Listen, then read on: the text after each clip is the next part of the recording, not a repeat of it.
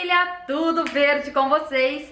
Sejam bem-vindos aqui para mais um vídeo do canal. Queria pedir o apoio de vocês com like, se inscrevendo no canal se você não for inscrito e ativando também o sininho de notificação, que eu estou todos os dias aqui trazendo informações do Palmeiras para vocês. Inclusive, eu acho que vocês já pensaram, opa, hoje não tem vídeo da Cássia, mas teve sim, arrumei um tempinho e vim aqui porque nós temos informações quentíssimas sobre o possível novo técnico do Palmeiras. Lá vai começar mais uma novela, mas calma. E também eu vou falar aqui sobre alguns desfalques do Palmeiras que, que pode estar acontecendo para para domingo. E vamos falar também sobre a Libertadores, né? Que saiu aí o próximo adversário do Palmeiras, que agora entra a fase difícil, que é o mata-mata. E o Palmeiras aí que pegou o Delfim, gente. E todo mundo aí já falando que o Palmeiras pegou o adversário mais fácil, que o Palmeiras tem um caminho mais fácil até chegar à semifinal. Eu não penso dessa forma. Eu acho que Libertadores é Libertadores. E eu sempre falei aqui pra vocês que em Libertadores não existe adversário fácil, até porque são jogos de mata-mata, então tudo pode acontecer. E, gente, surpreenderiam vocês se o Palmeiras fosse eliminado pro Delfim, se o Palmeiras fosse eliminado pra não sei quem, na onda de azar que a gente tem. Várias e várias parmeiradas, gente, não me surpreenderiam. Vocês lembram quando o Palmeiras foi eliminado pelo Barcelona de Guayaquil? Eu estava naquele jogo, virei meme, inclusive. O Palmeiras era favoritaço e mesmo assim nós perdemos. O Palmeiras teve dificuldades para ganhar do Jorge Wilstmann. Eu lembro, tá? Então, assim, não tem essa de adversário fácil, não tem essa de jogo fácil. É, quero que o Palmeiras chegue na final, quero que o Palmeiras ganhe a Libertadores mas não é um caminho fácil. Não, não, não adianta me dizer que vai, ninguém vai me convencer que é fácil, ainda mais conhecendo o Palmeiras igual a torcida conhece. Belezinha? Então é a minha opinião sobre isso, queria saber de vocês, acho que a maioria da torcida concorda, né? E a gente pode até pegar o Del Valle aí no caminho, gente. Ai, ai, ai, né? Ai, ai, ai, ai, deuses do futebol. Mas vamos ver, vamos ver o que vai acontecer. O Palmeiras precisa passar é, do primeiro para depois a gente pensar nos outros, né? Enfim. E também os desfalques que vai acontecer no jogo de domingo. Eu já tô falando agora porque talvez eu não consiga gravar vídeo amanhã, gente. Voltei a malhar.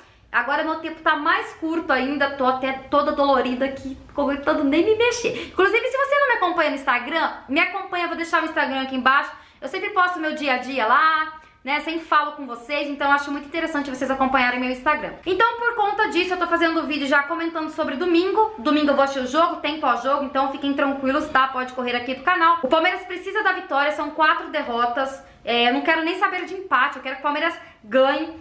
É, o Danilo, eu ia falar do desfalque, né? O, o Danilo e o Verón são desfalques já, porque eles estarão representando a seleção sub-20. O Danilo, que vem entrando muito bem, eu vejo a torcida elogiando muito ele. Eu já vi algumas pessoas falando que ele já acaba sendo até melhor que o Patrick de Paula. É porque o Patrick, de Paula é, tá um pouco diferente nos últimos jogos. Mas eu ainda acho que é um jogador que a, a torcida tem que ter paciência, porque eu acho que em muitos jogos eu vi o Patrick de Paula o único ali dentro de campo tentando alguma coisa. Eu digo, chutar pro gol. Ele é um cara que gosta muito de, de chutar de fora da área.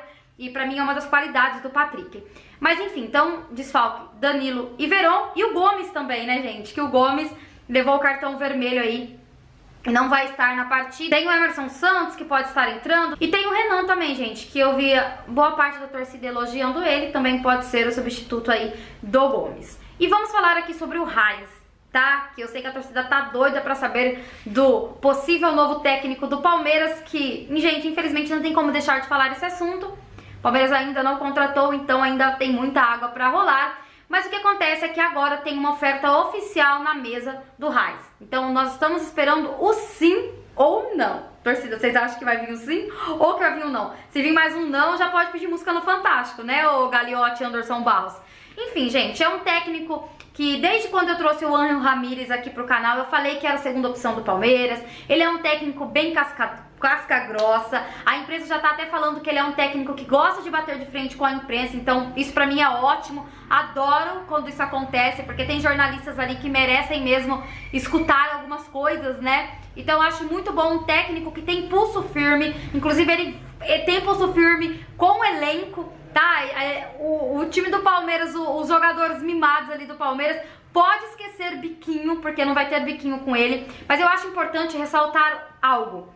Não adianta só trazer o técnico. O Palmeiras está tá atrás do Raiz, vai mudar radicalmente? Vai. mas tem que dar carta branca para ele.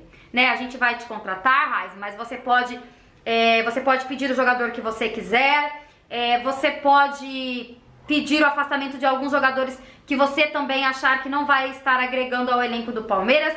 Tem que dar respaldo pro cara. Não adianta trazer o cara e, e, fazer do jeito que a diretoria gosta de fazer, né? Que é do jeito deles, porque aí o técnico vai ter vida curta, já vai ser um técnico que vai chegar sendo demitido, se não der a carta branca para ele fazer o que ele quiser. E também, é, por ele ser pulso firme da, do jeito que eu falei, com o elenco e tudo mais, quem sabe assim ele também não coloque uma rédeazinha ali no Galiote. O Galiote precisa de alguém que chegue junto, ele não tá nem aí se é presidente, se é independente, se é, se é dirigente, o que for, o que ele tem para falar, ele é um técnico que fala e faz, tá? Então eu acho que esse temperamento dele aí vai agregar muito pro elenco do Palmeiras de hoje, dos jogadores que nós temos. Lógico que algumas peças precisam sair, outras precisam chegar. Talvez se a gente conseguir uns três reforços, talvez a gente consiga até sonhar com a Libertadores ainda, né? Vamos pensar positivo. Mas enfim, é isso. Então, estamos esperando pelo sim e pelo não. O que é que vai acontecer nessa negociação diferente da do Angel Ramírez é que vai ser uma negociação sigilosa.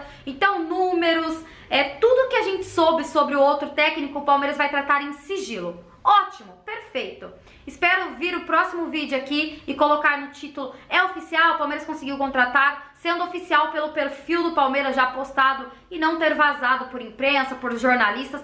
Acho legal e tomara que dê certo. Tomara que ele diga sim, porque é unanimidade na torcida do Palmeiras, né? Raiz no Palmeiras ontem subiram o hashtag tudo. Então é o que a torcida quer. E quando a torcida quer, gente, com certeza a torcida vai ter muito mais paciência.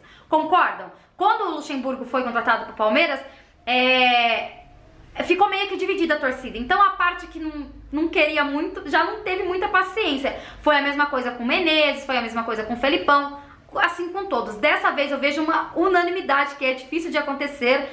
Mais de 90% da torcida quer esse técnico aqui. Então vamos torcer para que ele aceite, tá bom? Qualquer nova informação eu trago para vocês, vocês sabem, independente da hora, tô sempre aqui. Então é isso, gente. Deixe comentário de vocês, a gente se vê aí provavelmente no domingo, a não ser que amanhã esquente alguma coisa, eu trago atualizações para vocês. Mas um beijo no coração, a gente se vê aí e avante palestra.